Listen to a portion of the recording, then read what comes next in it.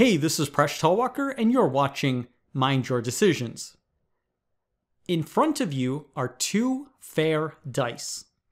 One is a seven sided dice with faces numbered negative 3, negative 2, negative 1, 0, 1, 2, and 3. The other is an 11 sided dice with faces numbered from negative 5 to 5. That is, the integers from negative 5 to 5. You pick a dice and I will get the other one. We will roll together, and the person with the larger number wins. If the two dice show the same number, we will roll again until someone wins. Which dice should you pick if you want to maximize your chance of winning? Now you can also solve this problem for the generalized case where one dice has integer sides going from negative n to n and the other dice has integer sides going from negative m to m. I want to mention the source. I adapted this problem from a post on Puzzling Stack Exchange. Finally, just a little bit of trivia. According to the Oxford Dictionaries, historically, dice is the plural of die. But in modern standard English, dice is both the singular and the plural. Throw the dice could mean a reference to either one or more than one dice. So can you figure it out? Give this problem a try, and when you're ready, keep watching the video for a solution.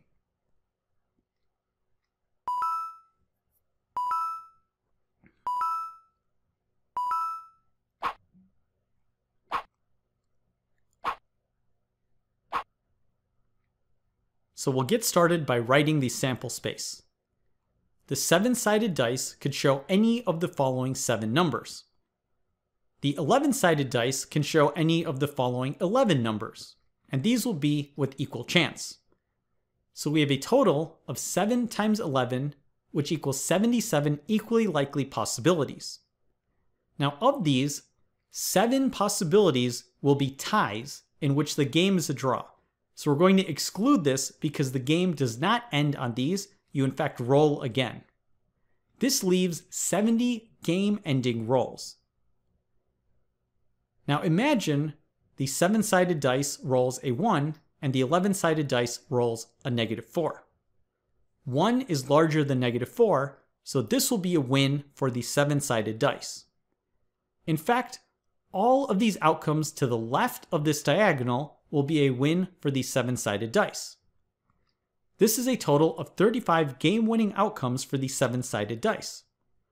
All of the possibilities to the right of the diagonal will be wins for the 11-sided dice, and this will be a total of 35 game-winning outcomes for the 11-sided dice. So, we'll put this together. The probability that 7 wins will be its 35 game-winning outcomes divided by the 70 outcomes in which the game ends, and that's exactly the same as the probability that the 11-sided dice wins. And 35 over 70 is equal to 50%. So the two are equal to each other. Each dice has an equal chance of winning. Furthermore, this is true in the general case as well. We can imagine the same sort of table where we have the rolls of the n dice and the rolls of the m dice.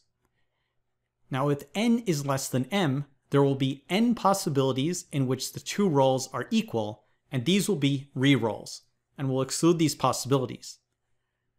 Every outcome to the left of this diagonal will be a game-winning outcome for the n dice, and every outcome to the right of this diagonal will be a game-winning outcome for the m dice.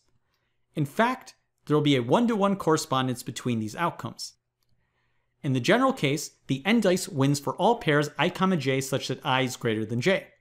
But for every such pair, there is an outcome negative i, negative j, which must be a win for the m dice. This is because negative j will be greater than negative i.